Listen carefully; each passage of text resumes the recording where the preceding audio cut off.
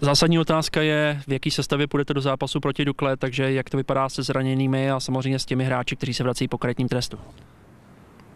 No, zásadní otázka, na kterou neumím odpovědět, protože e, máme tolik zraněných, že tady ani vypočítávat nebudu. Bohužel dlouhodobě zraněných, vrací se po kartách, se vrací Ondrášek a Otépka, to pochopitelně zase, e, zase nám bude chybět Novák vyloučený a zraněný Machovec, takže zase dlouhodobě je po operaci. Takže teď momentálně opravdu tu sestavu nevím a hlavně nevím třeba pozici levého obránce, kterýho žádný už nemám takže trošku improvizace tam bude, takže teď je to předčasný. Dukla vlastně v tom prvním utkání vyhrála doma 4-2. Eh, vy jste ještě nebyl tenkrát u kormidla, ale v podstatě bylo to překvapení, asi tam se nastartoval takový ten zlom na začátku té sezony, kdy vlastně pak Dynamu se nedařilo.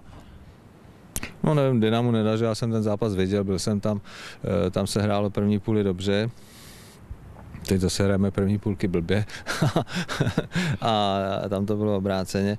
Ale já si myslím, že hlavně se nastartovala Dukla, protože uh, oni před začátkem soutěže málo kdo, málo kdo tak nějak jako favorizoval, tak ji neznali.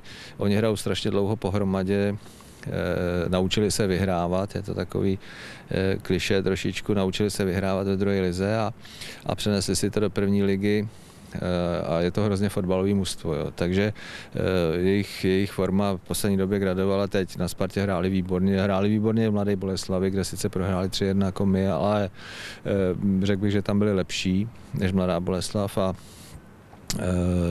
z různých důvodů prostě tam prohráli, ale hrozně fotbalový mužstvo a, a kdo viděl ten jejich teďka poslední zápas na Spartě, kde mohli i vyhrát, tak jistě uzná, že, že prostě mám pravdu. Hraju trošku zvláštní styl, ale, ale známe je, uvidíme. No. Hmm.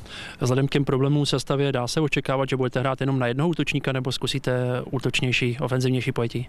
A tak já nevím tedy, jak budu hrát, to souvisí to, co jsem říkal na začátku, ale ofenzivnější e, není to, že hrajete na tři útočníky nebo rozestavení s jedním útočníkem, je to někdy ofenzivnější než ze třemi, jo. To, o tom to není.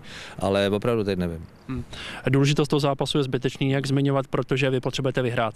No samozřejmě, jako e, v naší situaci by porážka eh, byla takřka smrtelná, ale, ale, ale potřebujeme vyhrát a chceme vyhrát. No. Hmm.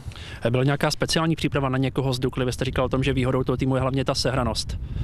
No, no tak mají tam hráče dobrý, dobrý, který předtím nikdo neznal, nebo znali málo, ať už je to Berger, ať už je to Hanousek a, a, a další a další. Mimořádnou formu momentálně má Gedeon.